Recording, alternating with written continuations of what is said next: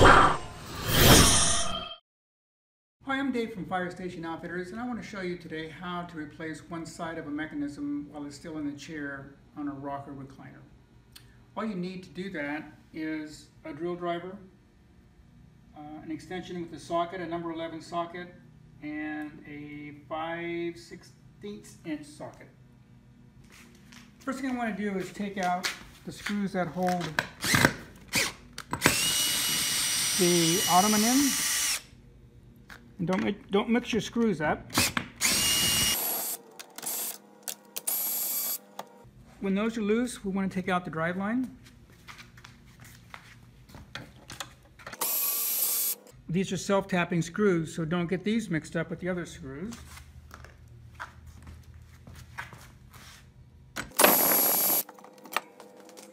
To remove this drive line, just carefully pull it through the hole. and then take off the spring. This is the lock spring. And then I'm going to take out the three screws that hold the mechanism to the frame. There's one there, there's one there, and there's one there. The first two are number 11.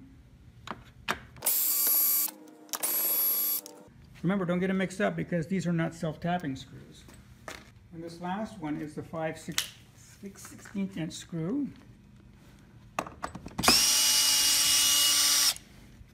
there are two screws that hold the mechanism to the base. When you remove these two screws, note which hole those screws are placed in. If you're not sure when you put it back on, you can always look at the other side. And I usually just leave them right in place.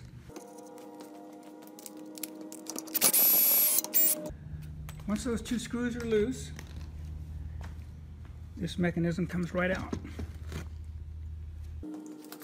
Typically what happens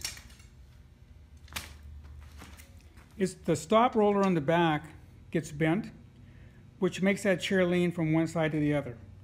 So I'm going to replace this side with the brand new side.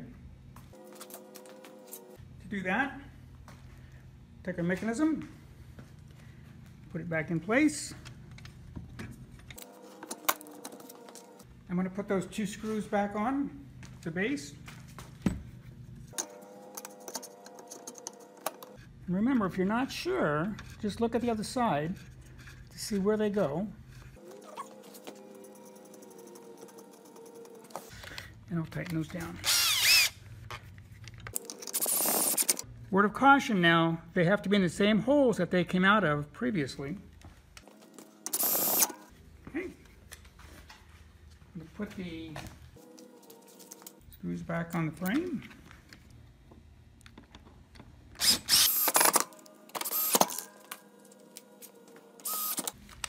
And after your screws are in place, we'll replace the ottoman. These can be a little bit tricky, but don't over tighten them when you put them back in.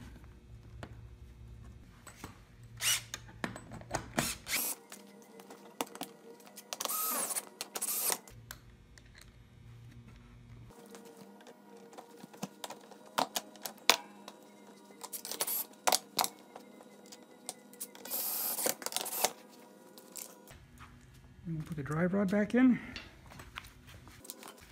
Drive rod goes with the handle facing the back with the footrest extended. And through this linkage. All the way through.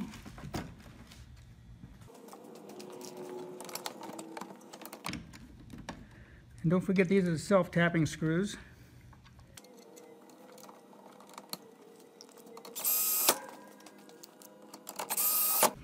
Last thing you want to do is replace the lock spring. There's an anchor bolt at the bottom and an oblong bolt on top.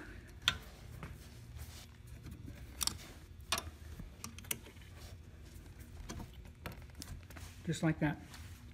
When you get done, you're back in business.